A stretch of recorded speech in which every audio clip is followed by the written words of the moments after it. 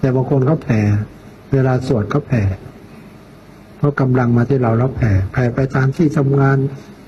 แผ่ไปให้ญาติ แผ่ไปคนรู้จัก แผ่ไปให้ลูกพี่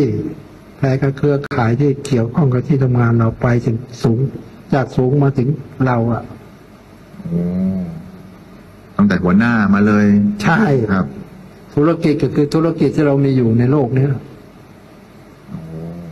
เราค้าขายตรงไหนก็แผ่ไปแถวนั้น ครับแผ่บ่อยๆนะห้ามลืมด้วยสวดทุกครั้งแผ่ทุกครั้งครับ แล้วก็สวด แล้วก็พิจารณาแล้วก็แผ่ มันอยู่อย่างเงี้ยแถวมันมันมันมันไม่ขึ้นเดียวกัน มันจะเกิดการเปลี่ยนแปลงเปลี่ยนแปลงนี่คือการวิธีการสวดแล้วเอามาเป็นประโยชน์ครับ